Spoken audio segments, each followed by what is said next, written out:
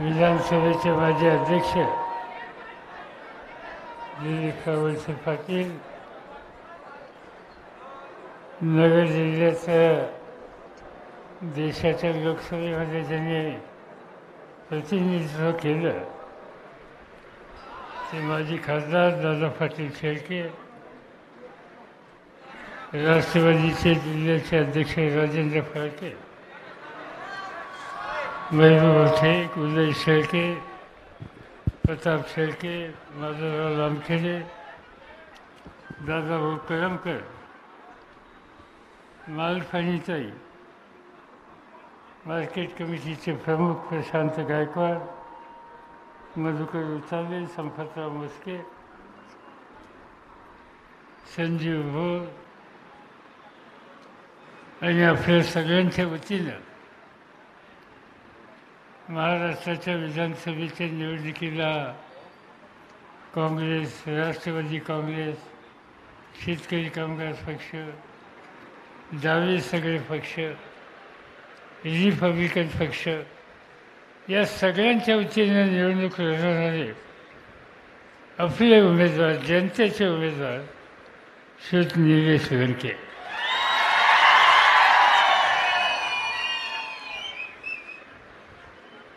निवडणुकीच्यासाठी ही आजची सभा आहे.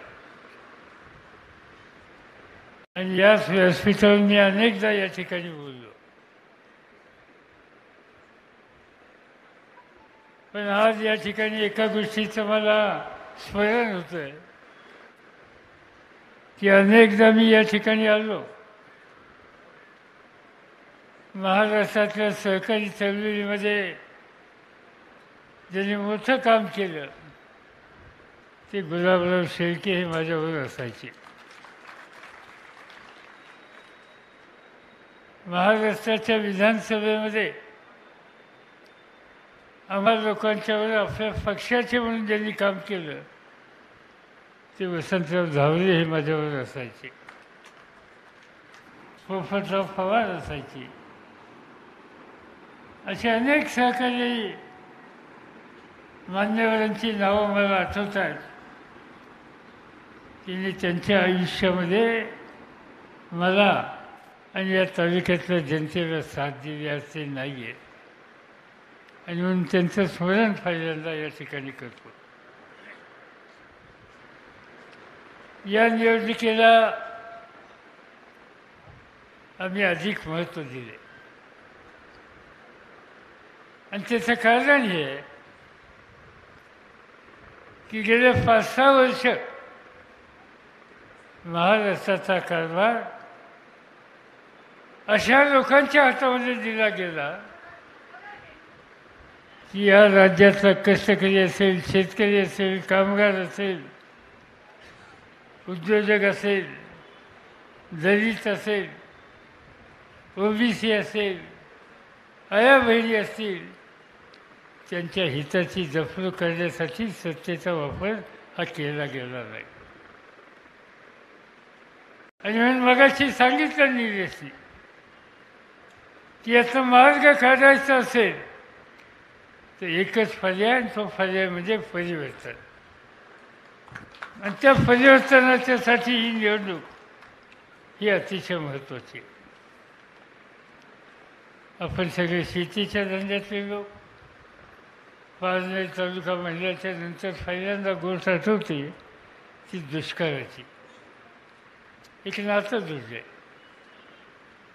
आणि या दुष्काळी परिस्थितीमुळं आज पारनेरचा माणूस पोट भरण्याच्यासाठी मुंबईचा आहे. मुंबईच्या गोदीमध्ये आहे. एकेकाळी कापड गिरण्या होत्या त्या कापड गिरण्यामध्ये आहे. मुंबईमध्ये काम करतो आहे पुण्यामध्ये काम करतो आहे पिंपरी चिंचवडला काम करतो आहे औरंगाबादला काम करतो आहे जिथं जिथं उद्योग वाढले त्या ठिकाणी पारनेर आणि पारनेरून आलेला कष्टकरी हा भेटल्याशिवाय राहत नाही. आणि त्याचं महत्त्वाचं कारण इथला सर्वसामान्य माणूस हा कष्टाळू आहे पण त्याच्या घामाची किंमत मिळवण्याच्यासाठी त्याच्या शिवारात अधिक उत्पादन झालं पाहिजे आणि ते उत्पादन करण्याच्यासाठी एक दहावीस टक्के भाग सोडला तर बाकीच्या ठिकाणी पाण्याची अडचण आहे. आणि म्हणून मला आनंद झाला की निलेशने आपल्यामध्ये सांगितलं की माझं सगळं लक्ष पाणी आणि या तालुक्याला पाणी कसं देता येईल या एका कामाच्यासाठी राहील. आणि हा हे त्यांनी जाहीरपणानं वचन आपल्या सगळ्यांना दिलं आहे त्या वचनाची पूर्तता करण्याच्यासाठी मी आणि आमचे सगळे सहकारी भक्कमपणानं त्याच्या पाठीशी राहू ही या ठिकाणी मी सांगू शकतो आज काय अवस्था आहे शेतीची? आज शेतीची अवस्था अतिशय गंभीर आहे. हे भाजप आणि सेनावाल्यांना शेतीमध्ये असता नाही आहे शेतकऱ्याच्या दुःखामध्ये सहभागी व्हायला त्यांची तयारी नाही. आज सगळ्यात महत्त्वाची गोष्ट आहे की शेतकऱ्याच्या घामाची किंमत त्याच्या पदरात फिरत नाही. शेतीमालाच्या किमती मिळत नाही. महाराष्ट्रामध्ये दोन तालुके आहेत. एका तालुक्याचं नाव पारनेर आणि दुसऱ्या तालुक्याचं नाव निफाड लासलगाव. आता या दोन तालुक्यातलं सगळ्यात महत्त्वाचं कोरडवाहू शेतकऱ्याचं पीक कोणतं? कांदा? काय कांद्याची जाणार दोन पैसे कांद्याला मिळायची कधीच संधी आली तर ज्यांच्या हातामध्ये देशाचं राज्य आहे त्यांनी ताबडतोब निर्यातबंदी केली. कांद्याची साठ्यावर बंधनं घातली. आणि दिल्लीमध्ये सांगायला लागले की कांद्याच्या किमती आम्ही कमी आणल्या. अरे जिरायत भागातल्या शेतकऱ्याला कधी नाही त्या आयुष्यात. दोन पैसे कांद्याने मिळतात. ते मिळायची एक परिस्थिती निर्माण झाली तर ती तुम्ही बंद केली. हे तुमचं शेतकरी आज कांद्याला किंमत द्यायची नाही हा निकाल घेतला. आम्ही लोकांनी दिल्लीमध्ये सांगितलं अर्थमंत्र्यांना अर्थ खात्याच्या लोकांना की कांद्याची किंमत तुम्ही कमी करता म्हणता. तर शेतकऱ्याच्या मालाची किंमत वाढवून द्यायची नाही. हा तुमचा निकाल असेल तर खताची किंमत का नाही अवजत औषधाची किंमत का कमी करत नाही? शेती अवजाराची किंमत का कमी करत नाही? शेतकऱ्याच्या फोराला शिकायला कॉलेजला कुठे जावं लागतं त्याच्या खर्चाची व्यवस्था का करत नाही? आज त्याला जे लागतं त्या सगळ्या गोष्टीच्या किमती आभाराला चालल्यात. आणि त्यांनी जे पिकवलं त्याची किंमत तुम्ही द्यायला तयार नाही. याचा हे हे राज्यकर्ते या देशात काय ऐशी इमान राखणाऱ्या लोकांच्या हिताची जफलूक करणार नाही आणि म्हणून जो शेतकऱ्याच्या हिताची जफलूक करत आहे त्याला आम्ही मताचा पाठिंबा देणार नाही. हा निकाल तुम्हाला मला घ्यायचा आहे. आणि त्यासाठी हा निकाल घ्यायचा आहे. आज सांगतात हे सगळीकडे. की आम्ही हे केलं आम्ही ते केलं. घोषणा केली. महाराष्ट्राच्या मुख्यमंत्र्यांनी की आम्ही सरसकट कर्ज माफ करू. सरसकट केलं का सरसकट कर्ज माफ? सरसकट कोणाचं कर्ज माफ झालं? सांगून टाकलं. सरसकट करतो. अरे कमीत कमी आम्हाला लोकांच्या हातामध्ये सत्ता होती तर आम्ही एकच काम केलं की सबन देशातल्या बँकेमध्ये जी थकबाकी होती त्या थकबाकीची रक्कम भरू म्हणून सांगितलं आणि एकाहत्तर हजार कोटीची रक्कमही भरली. आम्ही काही चर्चा केली नाही पण यांनी घोषणा केली सरसकट करणार. मध्यंतरी विधानसभेमध्ये काही विरोधकांनी प्रश्न विचारला की प्रत्यक्षपणानं या राज्यातल्या किती टक्के शेतकऱ्यांना कर्जमाफी मिळाली? आणि फडणवीस सरकारने उत्तर दिलं की एकंदर एकतीस टक्के लोकांना त्याचा फायदा झाला. याचा अर्थ एकोणसत्तर टक्के शेतकऱ्यांना कर्जमाफीचा फायदा भाजप सेनेच्या राज्यात आलं नाही. आणि आज हे सांगतात की आम्ही शेतकऱ्याच्या हिताची जपणूक करणार आहे. आज शेतकरी कर्जबाजारी होते. आणि कर्जबाजारी झाल्याच्यानंतर ज्या दिवशी त्याच्या दारामध्ये बँकेची नोटीस येते पैसे भरले नाहीत तर तुझ्या घरातली भांडी कोणी बाहेर काढली जाईल हे सांगितलं जातं. त्यावेळेला हवालदिल झालेला शेतकरी टोकाची भूमिका घेतो. आणि यंदाच्या वर्षी महाराष्ट्रामध्ये सोळा हजार शेतकऱ्यांनी आत्महत्या केली. सोळा हजार शेतकरी आत्महत्या करतात. घरातल्या कर्त्या माणसांनी आत्महत्या केली. यवतमाळ जिल्ह्यामध्ये आत्महत्या झाली. मला समजलं मी गेलो त्या जिल्ह्यामध्ये. त्या गावात गेलो. ज्या घरातल्या शेतकऱ्यांनी आत्महत्या केली त्याच्या घरात गेलो. माऊलीच्या ठिकाणी मी गेल्याच्यानंतर तिच्या डोळ्याचं पाणी थांबवलं अश्रू फुसत होती. तिला विचारलं की तुझ्या मालकाने का जीव दिला? तिला बोलता येईना. धीर दिला. खरं कारण सांग म्हणलं. तिने सांगितलं पाच वर्षाच्या पूर्वी माझ्या मालकाने बँकेचे पैसे काढले विहीर काढण्याच्यासाठी विहीर काढायला घेतली. सगळे पैसे विहिरीत घातले पाणीच लागलं नाही. पाणी लागलं नाही त्यामुळे विहीर बाद पण कर्ज बाद नाही झालं. कर्ज दुष्काळ तसंच राहिलं. पीक कर्ज घेतलं दुष्काळ पडला.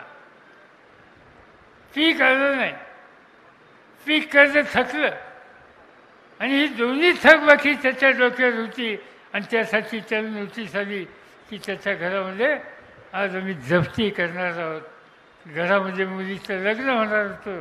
पंधरा दिवसांनी बाई सांगते की माझ्या मालकाला असं वाटलं की पंधरा दिवसांनी इवाई घरी येणार बाई पाहुणे येणार. आणि त्याच वेळेला माझ्या घरात जर जप्ती आली तर मला तोंड दाखवायला जागा नाही. त्यापेक्षा जीव दिलेला मला म्हणून इंद्रिय फ्याला आणि त्यांनी जीव दिला. ही स्थिती आज शेतकऱ्याची आहे. मध्यंतरी या देशातले मोठे मोठे धनिक त्यांनी बँकेच्याकडनं पैसे घेतले थकवले आणि त्यामुळे त्या बँका संकटात आल्या. आजचं मोदीचं सरकार असं आहे की मोठ्या धनिकांची बँकेतली थकबाकी एकाहत्तर हजार कोटी अठ्ठ्याहत्तर हजार कोटीची केंद्र सरकारने भरली शेफ असे लोक आहेत. त्या शेफ असे उद्योजकांचे पैसे. अठ्ठ्याहत्तर हजार कोटी केंद्र सरकार बँकेत भरतं आणि शेतकऱ्याच्या घराची भांडी कुंडी बाहेर काढतात? त्याला आत्महत्येचा रस्त्यावर नेतात आणि मतं मागायला आमच्याकडे येतात. दाराशी उभं करता कामा नाही अशा प्रकारची अवलाद आणि त्याला आम्ही मत देणार नाही. हा निकाल त्या ठिकाणी आपण घेतला पाहिजे. आणि म्हणून जो शेतीकडे दुर्लक्ष करतो शेतकऱ्याकडे दुर्लक्ष करतो त्याला आम्ही मदत करणार नाही. हा निकाल तुमचा माझा असला पाहिजे. आज निवड शेती एका शेती प्रपंच चालत नाही. शेतीची जमीन कमी व्हायला लागली. लोकांची संख्या वाढली. आज जमिनीचं क्षेत्र कमी राहिलं ज्याच्याकडे चार एकर जमीन आहे घरामध्ये दोन मुलं झाली. जमिनीचं वाटप केलं ते एकदम दोन एकरवर येतात. आणि त्याच्या पुढं त्याचं उद्या लग्न झालं. त्यांनी वाटप केलं तर एक एकर अर्धा एकर जमीन शिल्लक राहते. कसा संसार करायचा? आणि म्हणून मी गेले काही वर्षापासून सतत सांगतोय की बाबांनो कुटुंबातल्या एकाच मुलांनी शेती करायची बाकीच्यांनी देशात कुठेही जायची वेळ आली तर नोकरी करण्याच्यासाठी गेलं पाहिजे. आणि माझ्याकडे राज्याचं मुख्यमंत्रीपद होतं त्यावेळेला ठिकठिकाणी औद्योगिक वसाहती काढायचा कार्यक्रम घेतला. आज फाळण्याची औद्योगिक वसाहत माझ्या हातून सुरू झाली. रांजणगाव. तुम्ही येताना बघता रांजणगाव. माळ होतं तिथं कुसळ उगवत नव्हतं. आज त्या रांजणगावच्या जमिनीमध्ये औद्योगिक वसत काढायचा निकाल मी घेतला आणि आज त्या ठिकाणी कारखाने झाले. लोकांना हाताला काम मिळतं. भिगवणच्या जवळ कुरकुम. त्या ठिकाणी काही नव्हतं. तिथं औद्योगिक वसत काढली. शिरवळच्या जवळ औद्योगिक वसत काढली. इंदापूरला औद्योगिक वसाहत काढली. टेंभुर्णीला औद्योगिक वसाहत काढली. कशासाठी? त्या भागातल्या मुलांना काहीतरी रोजगार मिळावा आज अनेकांना काम मिळालं. तरुण पिढीला काम मिळालं. पण आत्ताचं राज्य ज्यांच्या हातामध्ये त्यांनी शेतकऱ्यांचं जसं नुकसान केलं तसं उद्योगधंद्याचं सुद्धा नुकसान केलं. आज कारखाने बंद पडायला लागले. पारनेची औद्योगिक वसाहत बघा. मला वाटतं निलेश अधिक माहिती असेल. त्या ठिकाणी काही कारखाने बहुतेक बंद झाले असतील. लोकांचं रोजी गेली असेल. परवा नाशिकला गेलो होतो. औद्योगिक यंत्रणेमध्ये काम करणारे कामगार भेटले आणि एकट्या नाशिकमध्ये पंधरा हजार कामगारांना नोकरीवरनं कमी केलं का? कंपन्या अडचणीत आल्या. तुम्हाला माहीत नसेल जेट नावाची एक विमान कंपनी होती. या देशातली सगळ्यात मोठी विमान कंपनी अडीचशे विमानं होती. ती बंद झाली. वीस हजार लोकांचं काम त्याच्यातनं बुजलं आज तिथली सगळी तरुण मंडळी बेकार झाली. म्हणजे एका बाजून शेती नाही दुसऱ्या बाजूला उद्योगसुद्धा बंद पडायला लागले. नोकऱ्या जायला लागल्या. काय करायचं तरुण पिढीने? आजच्या राज्यकर्त्यांना त्या संबंधीची यत्किंच सुद्धा चिंता नाही. आणि म्हणून आज एक प्रकारे बेरोजगारीचं संकट हे महाराष्ट्रातून देशातलं सगळ्यात मोठं संकट होऊन गेलं. हे सरकार कुणासाठी काम करत आहे कोणते निकाल त्यांनी आपल्या हिताच्यासाठी केले एकही निकाल सांगता येत आज काय चित्र दिसतंय? त्यांना विचारलं तुम्ही काय केलं? सांगता तर मी नोटाबंदी केली.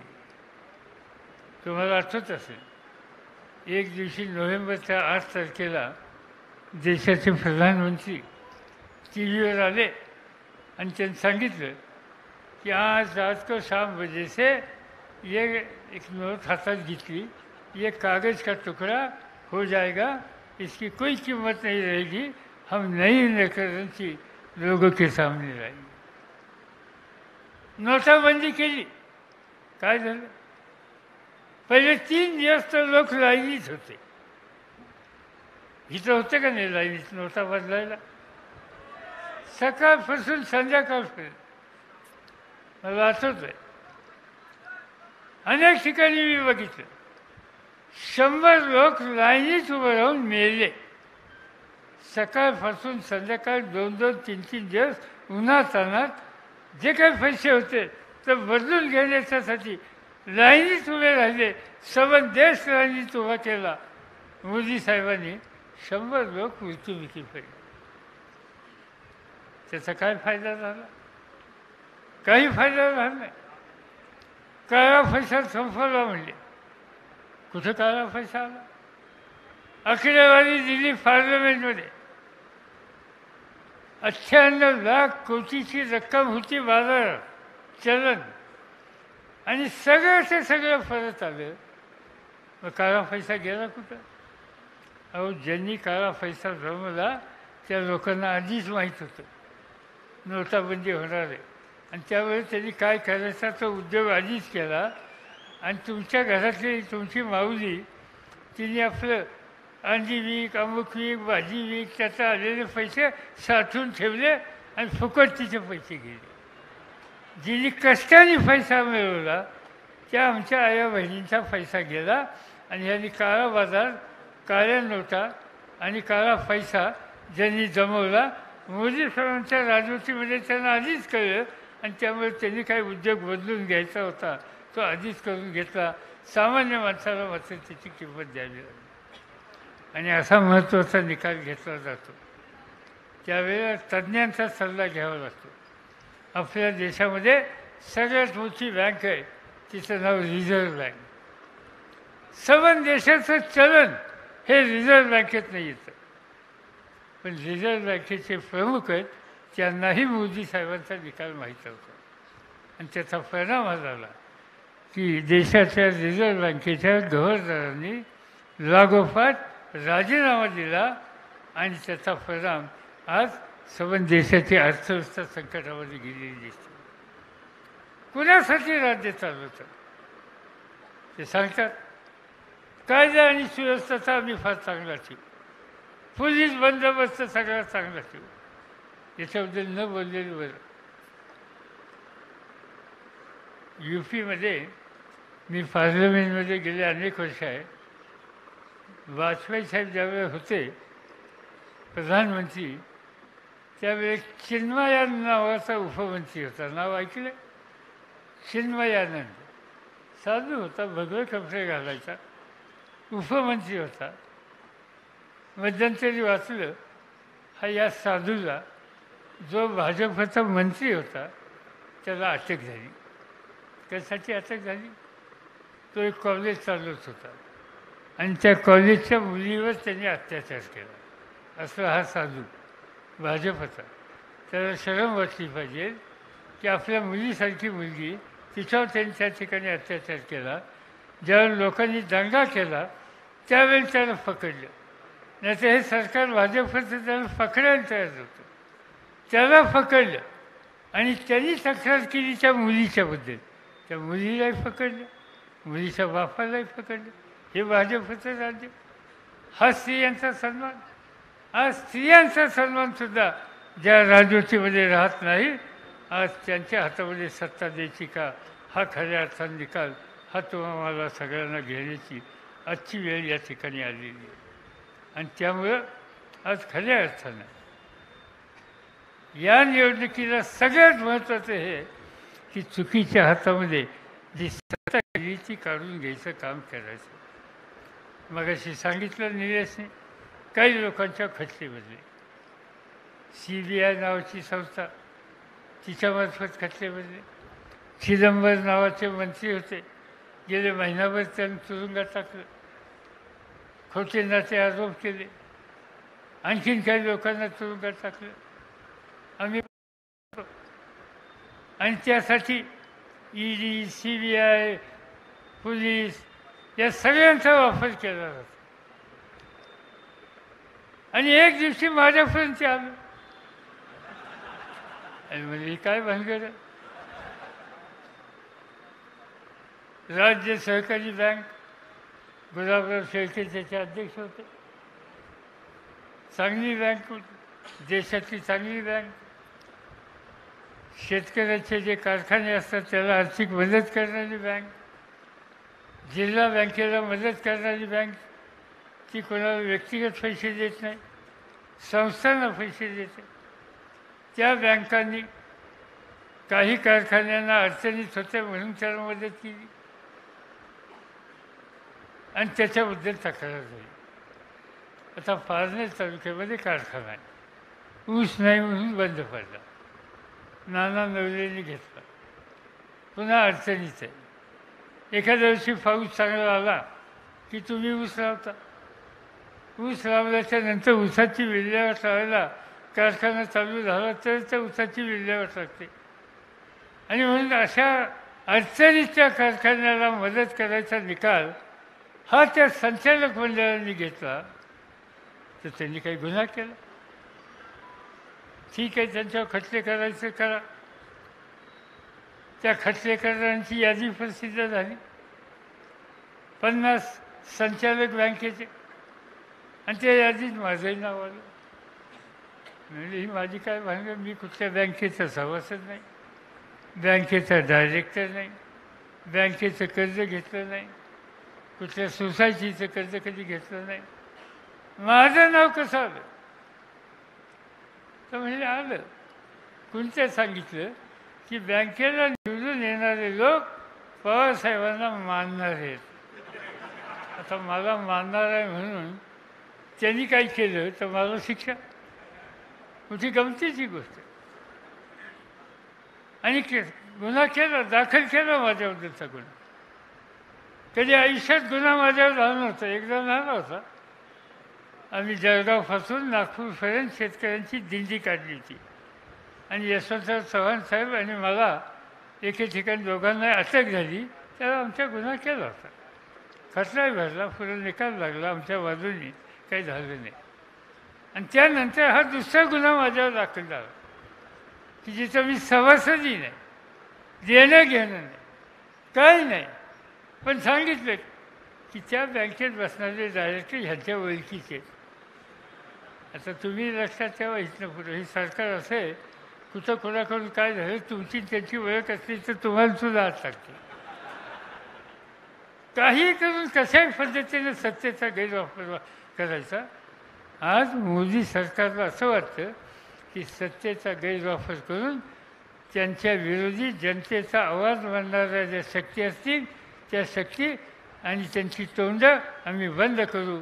आम्ही त्यांना सांगू इच्छितो सरकारमधल्या लोकांना. काय वाटेल ते तुम्ही करा. तुरुंगात टाका नाही आणखीन काही करा?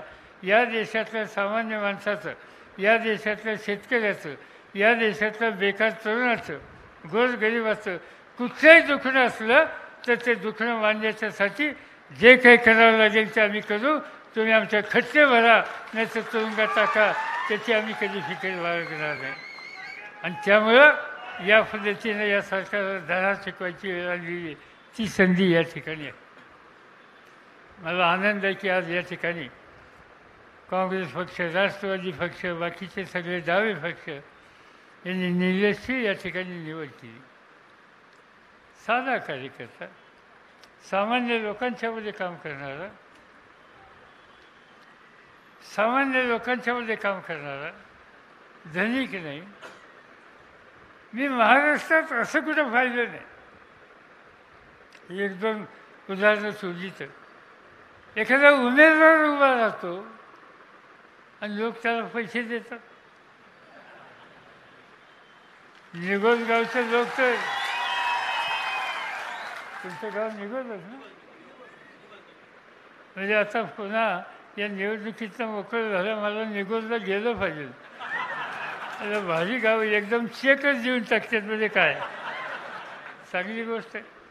याचा अर्थ दुष्काळी भागात सामान्य माणसाच्या उदय प्रामाणिकपणा यांनी काम करणारा कोणी कार्यकर्ता असेल तर पारनेर तालुक्याचं वैशिष्ट्य आहे की त्याची गरिबी बघत नाही त्याची कामाची पद्धत बघतात आणि त्याची गरिबी घालवण्यासाठी त्याला मदत करतात. पारनेर तालुक्यातल्या या जनतेचं दातृत्व हे सबन महाराष्ट्राला एक प्रकारचं मार्गदर्शन करणारे तुम्हा सगळ्यांना मी अंतकरणापासून धन्यवाद देतो. आणि मग लहान समाजातला. हा कार्यकर्ता आज तुम्ही महाराष्ट्राच्या विधानसभेच्यासाठी आपल्या पुढे आणला आहे. त्याला मोठ्या मताने तुम्ही विजयी करा. आणि हे काम तुम्हाला करायचं आहे. अनेकांना आम्ही लोकांनी मदत केली. मग अशी सांगितलं की गुलाबरावच्यासारखी व्यक्ती असेल वसंतरावच्यासारखी व्यक्ती असेल. नेहमीच या भागाचा या तालुक्याचा विचार त्यांनी केला. अलीकडची पुढची पिढी ही सकाळ दुपार संध्याकाळी निकाल घेते. पक्ष बदलते. आणखीन काय करते? लोक मला सांगत होते की अमुक अमुक तुमच्याबरोबर असायचा त्यांनी पक्ष बदलला. मला काही ते चिंता नाही. बदलला बरं झालं सुटका झाली. कारण आपण एक प्रामाणिकपणानं नव्या पिढीतल्या कार्यकर्त्याला मोठं करायचं शक्ती द्यायची आणि त्याच्यामार्फत या दुष्काळी तालुक्याच्या प्रश्नाची सोडवणूक करण्याच्यासाठी काही मदत होईल अशी अपेक्षा करायची. आणि त्यांच्याकडून बाकीचे सगळे उद्योगधंदे केलेत हे ऐकायला येतं. त्यावेळेला माझ्यासारख्याला दुःख होतं. आणि म्हणून अशांना बाजूला करण्याची गरज होती. आणि प्रत्यक्ष फळांना गरिबांच्याच काम करणारा हाच कार्यकर्ता या ठिकाणी मोठा केला पाहिजे. हा निकाल घ्यायची गरज होती. आणि त्याच भावनेनं आज आम्ही या ठिकाणी निरेशला उभे करण्याच्या बद्दलची काळजी घेतली. तुम्ही लोकांनी अनेकांची आता मला या ठिकाणी सांगितलं की आपल्या भावाच्यासाठी लंके यांच्या प्रचारासाठी मंगल म्हणून मदत करण्या मदत करण्याचा निर्णय घेतला आणि त्यांचं नाव सौ योगिता विजय अवती हा आहे मला माहिती नाही पण मला चिठ्ठी या ठिकाणी आली. या भगिनीला मी अंतकरणापासून धन्यवाद देतो की माणूस गरीब आहे पण प्रामाणिक आहे. माणूस गरीब आहे पण सेवाभावी वृत्तीच आहे आणि प्रामाणिकपणानं लोकांच्यासाठी धरतं याची खात्री फेटली तर त्याची गरिबी आम्ही अडचणीत येऊन देत नाही. पारनेर तालुका हा सेनापती बापटांचा तालुका एक आदर्श तालुका आहे. आणि त्या आदर्श तालुक्याच्या बद्दलची काळजी काल तिथल्या कार्यकर्त्याची काळजी आम्ही घेतो. हे या ठिकाणी सांगितलं पाहिजे. मला फक्त दोनच गोष्टी एकच गोष्ट सांगायची राहिली की आम्ही लोक सत्तेमध्ये होतो. त्या शेतकऱ्याच्या पिकाचं नुकसान झालं तर विमा कंपनी आम्ही एकच काढली आणि एका विमा कंपनीकडून भरपाई देत होतो. आत्ता जे सरकार आलं त्यांनी अनेक विमान क विमा कंपन्या काढल्या. रिलायन्स बजाज फ्युचर अशा अनेक कंपन्या काढल्या आणि या कंपन्याच्या मार्फत संकटग्रस्त शेतकऱ्याला मदत करण्याचं काम होत नाही. आणि त्यामुळं उद्या त्याला सत्तेमध्ये बदल केल्याच्यानंतर अशा विमा कंपन्यांना सुद्धा धडा शिकवायला लागेल. आणि ते काम आम्ही करू आणि शेतकऱ्याचा पैसा मिळेल याची काळजी घेऊ. एवढंच या ठिकाणी सांगतो आणि माझे दोन शब्द संपवतो.